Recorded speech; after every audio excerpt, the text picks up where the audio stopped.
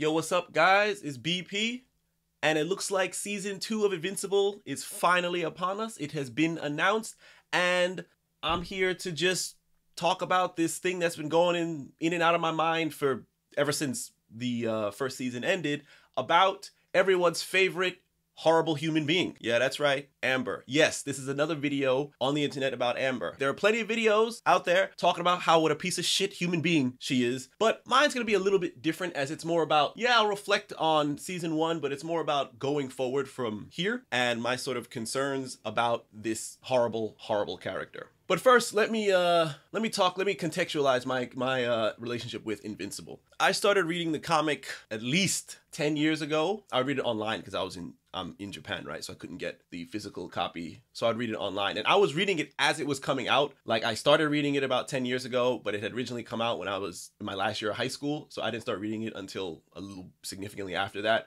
But it was still being it was still coming out. Robert Kirkman was still writing it. And I remember just being it was so annoying because he was doing that and the Walking Dead comic at the same time. And the Walking Dead was the more popular one and his main focus. And so the comic book would get delayed all the fucking time. It was agonizing. Like you'd have one month you get it, and then two months later, three you get another issue. It was horrible. Anyway, I've been a fan of this series for a long time. It's actually, I would probably consider it my favorite sort of superhero comic, right? Because it's it paid homage to the, the superhero comics that came before it, but also did its own thing. And I remember when they announced the animated series and I was excited. And then I saw Amber's character design and I immediately knew I was like, oh, fuck no. Oh, no.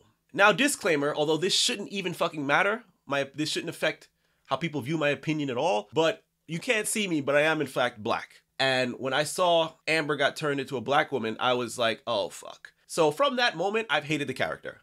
Ever since she like debuted in the TV show, I was like, fuck this bitch because they race swapped her and I hate that shit. But more than that, I knew when I saw that they were to race swap her, I said, well, now she's to be a strong, independent black woman who don't need no man. Mm-hmm. I knew that was to happen because these people can't help themselves. In in pushing sort of the uh the message as critical drinker likes to call it, they somehow become even more racist and stereotype the black woman. I knew they were gonna give her like I was like, oh, so you're gonna be more inclusive by stereotyping a black the black woman while destroying her character. I knew that was coming, and that was exactly what they did. When Williams like, oh, she's into fourth wave feminism and Ta-Nehisi Coates, I was like, oh fuck, because well, Ta-Nehisi Coates, right? Who the oh oh god. Oh, funny thing about William, right? They pretty much axed a significant portion of his character development as well because he later came out as gay. He realized he was gay later. So that was sort of a character arc for him. He even dated Eve. Yes, there are going to be spoilers in this conversation.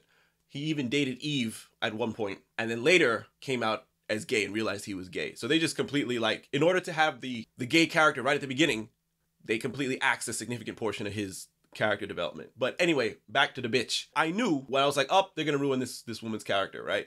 And I've seen all the arguments. Oh, you know, comic book Amber was just a doormat or she was stupid. And I'm like, no, she wasn't. Y'all are just fucking idiots. She was just nice, normal high school girl. In particularly, high school girl from early 2000s into mid 2000s, right? She was just a normal high school girl doing normal high school girl things who happened to be dating a superhero there was nothing wrong with her. She wasn't stupid or anything like that. She was just a normal girl. And the idea that if you race swap her, that you can't keep her personality, it's just nice, normal girl. It's like, well, we race swapped her. So now we have to make her more because, you know, she can't just be black and normal. No, no, no. That that she gotta be strong and powerful and don't take no mess and don't need no man.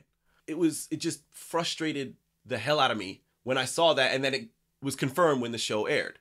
If they had kept her, they race swapped her, but kept her the same, I'd have less of an issue with it, but I still fucking hate the fact that they race swapped her. I hate the fact that they race swapped Debbie, but at least Debbie is essentially maintaining her character. They haven't really changed Debbie's character. And it's kind of funny. It's so racist because they're like, oh, Debbie's voiced by an Asian woman. Therefore, we have to make her Asian.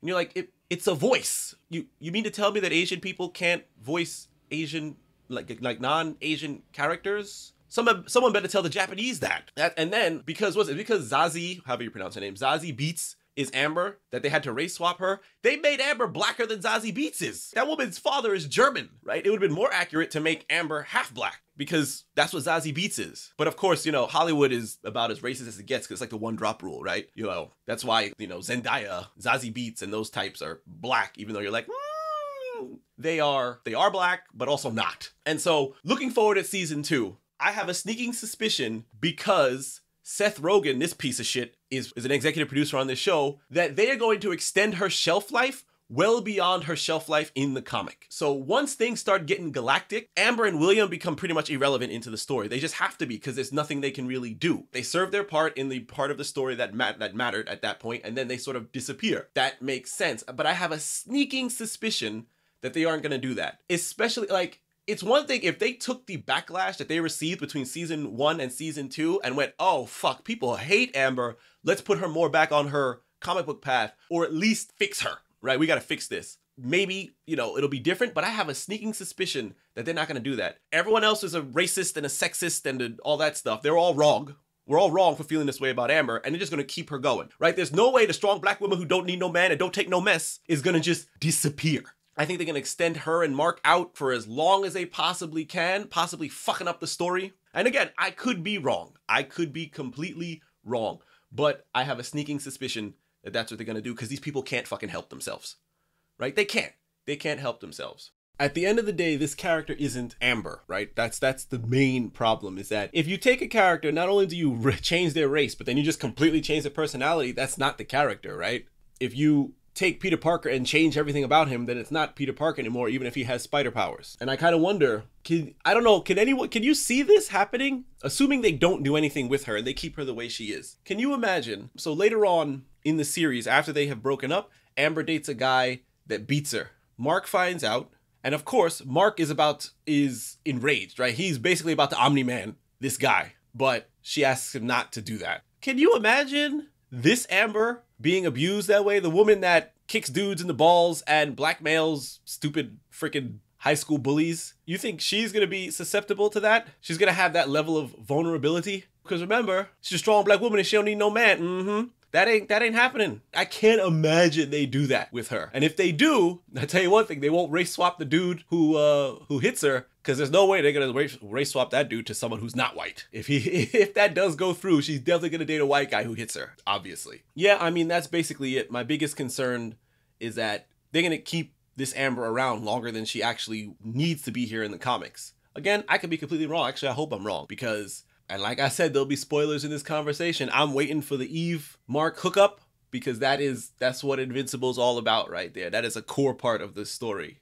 So, anyway, again, thanks for listening. If you disagree, that's fine. And I will see you guys in the next rant.